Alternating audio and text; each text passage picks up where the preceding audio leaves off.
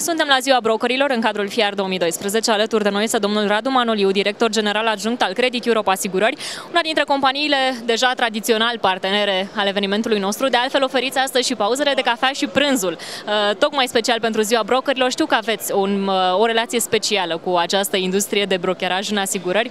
Uh, vorbim astăzi despre trendul ascendent pe care o înregistrează. Care credeți că e motivul pentru care brokerii reușesc să facă profit chiar și în vreme de criză? Cred că brokerii sunt cu un pas înaintea pieței din multe puncte de vedere. Uh, în ceea ce privește dinamica asigurărilor online, de exemplu, am sesizat în altă ordine de idei faptul că încep să se dezvolte în teritoriu și să compenseze restrângerea naturală a asiguratorilor ca urmare a efectelor crizei. Demn de remarcat este faptul că încep să investească și în uh, sisteme de e-learning sau în alte Uh, sisteme alternative pentru educarea asistenților în brokeraj, deoarece în cele din urmă ei reprezintă baza în viitorul apropiat, uh, asistenții în brokeraj, mai ales în cazul uh, brokerilor cu rețele mari de distribuție. Toate aceste aspecte sunt lucruri îmbucurătoare. Pe de altă parte, însă, în cadrul conferinței de astăzi, mă bucură faptul că, spre deosebire de alte ediții, Discuțiile au fost uh, destul de deschise și directe încă de la început.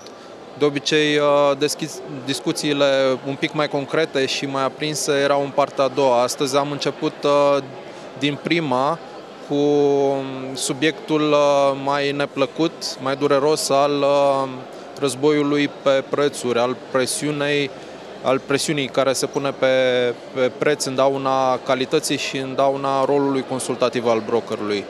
Deci există semnale îmbucurătoare și în privința dialogului dintre asiguratori și brokeri și de data aceasta și CSA-ul este implicat în mod uh, direct și constructiv. Fără de preț și raportul preț-calitate la serviciile de asigurare, care sunt alte subiecte care în acest moment frământă piața de brokeraj? Adevărat, reprezentați o companie de asigurări, dar aveți relații strânse cu aceste companii de brokeraj și le știți doleanțele, problemele, nevoile?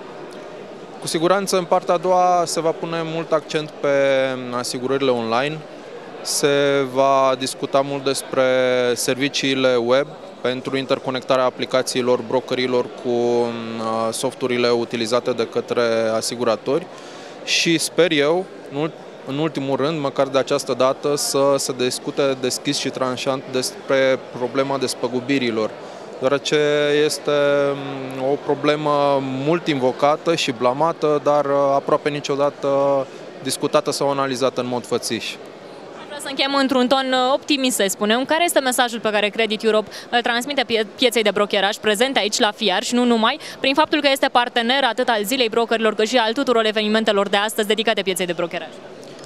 Da, și uh, sublinia în acest context faptul că noi deja am uh, sprijinit uh, conferințele naționale de vânzări organizate de uh, brokeri de mare calibru în ceea ce privește rețelele de distribuție. Mă refer la Maxigo, la Safety, la Campion.